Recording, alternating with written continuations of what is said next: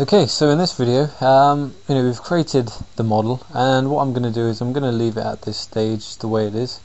Um, I'm pretty happy with it, to be honest. I think it looks, it looks like her, even though it's just a grey model at this stage, um, which is a good sign, I guess, because it can only get better from here.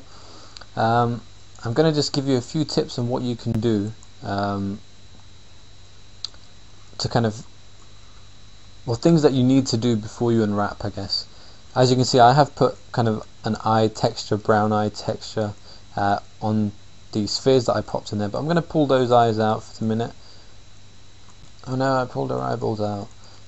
The next thing I'm going to be doing is going on to edit poly and selecting the edges around here around the actual eye um, lids. The reason why is you know we've got this empty gap in the middle here and we definitely don't want that when it comes to um, you know finalizing our model because we don't want gaps on the sides of our eyes do we? So I'm just going to shift and drag this back. Don't worry if you're looking at it from the inside or whatever it doesn't really matter. Or you can go into your side view press alt and X um, and then shift and drag back. See how we've just got this tube type kind of feel going on there. But we don't want that. We don't want kind of a tube. Um, we want to kind of use the middle of the scale tool just to scale it down to pretty much a point. So go as far as it will go. And once it is down to a point you kind of want to you want to click and drag over that point like so. So you've got all the vertices selected and there will be quite a few just there as you can see. You see how there's like a little group of them just there we're going to go to weld. And as you can see you know you want to kind of adjust this um, weld threshold until it welds them all into one point. So if I go around the front now it's actually just going to be one polygon uh, one one vertex just there just like that. Perfect. So now when you pop, pop the eye in it's going to have a nice kind of backing on it so it doesn't look like that eye is just floating in there and you can give it the depth you want you know. You kind of want to give it a decent amount of depth. You don't want it to be you know flat out like this. Like so. So you just want to pull it back a good amount like that. So let's just pop those eyes back in there.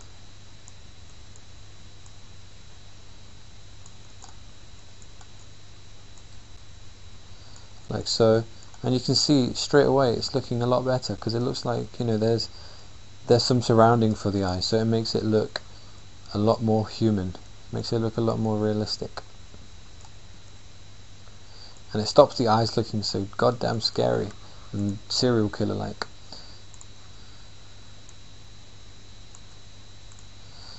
So just going to save that. And I'm going to move on to the the mouth. I mean I've done something similar for the nostrils where I've extruded in and stuff like that. But I want to do something similar for the mouth as well but I'm deciding whether to do it or not.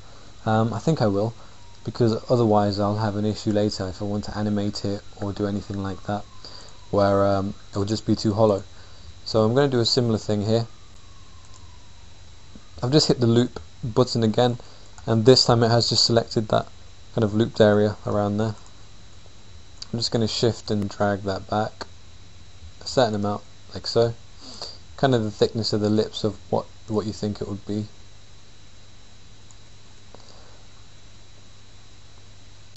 And then from that stage we're just going to shift and drag again. This time we're going to scale out because we want to create some a small kind of opening. Um, let's scale in height only though because we don't want to add too much width in here so just in height. So it just spreads that out. It looks a bit kind of wonky at the minute, but what I'm going to be doing is just selecting the verts and moving them up.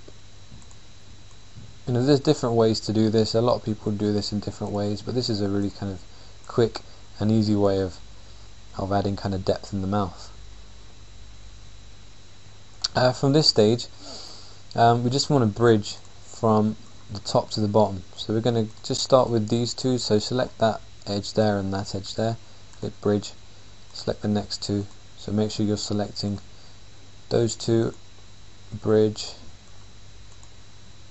that and that, bridge, that one and that, oh, not that one, that one, bridge, and I think that's about it.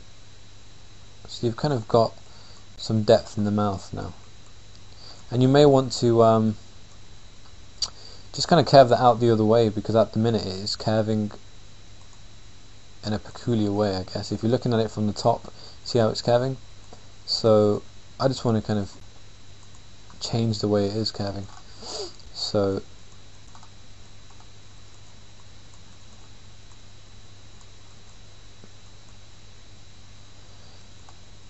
just go into here just pull that a little back pull these forward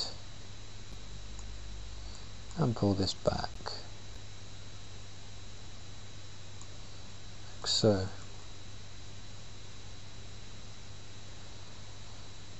Oh something went wrong. No it's just that I've missed out these two. Um, so yeah that's looking better.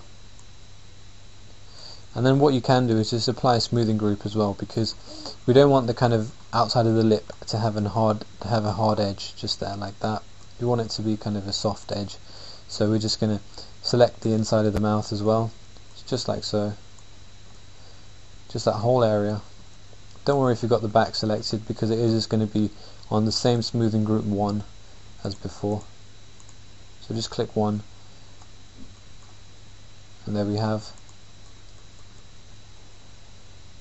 Area done.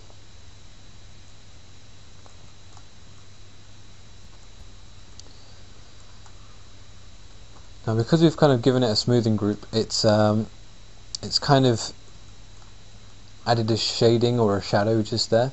So you can kind of rectify that a little bit by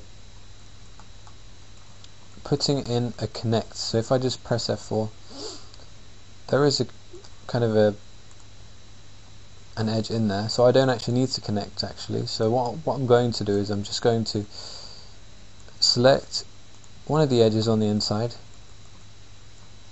One of these just here. Like so. I'm going to hit loop. So it loops around and selects the top and bottom and just move it forward. And as I move forward it will kind of reduce the amount of shading on this area here.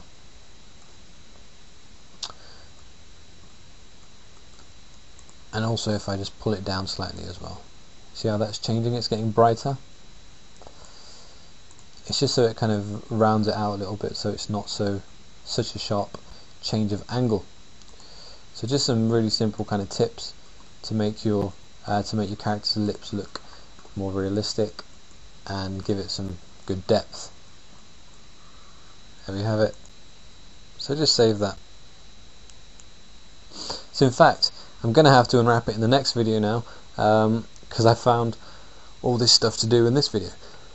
So hopefully, you know, these little tips were helpful, and it will, again, it will make your life so much easier when it comes uh, to the future, when it comes to kind of animating and doing all these kinds of things, and you know, you want to move the eyes or whatever, then you're not going to have an issue by having gaps on the side or having a big, like, hollow skull. So it actually looks like there's a mouth, and that there's a, you know, a mouth area with its own volume that we've just created. So yeah, to unwrap the head, um, you will have to move on to the next video, and I promise I will be unwrapping the head in the next video.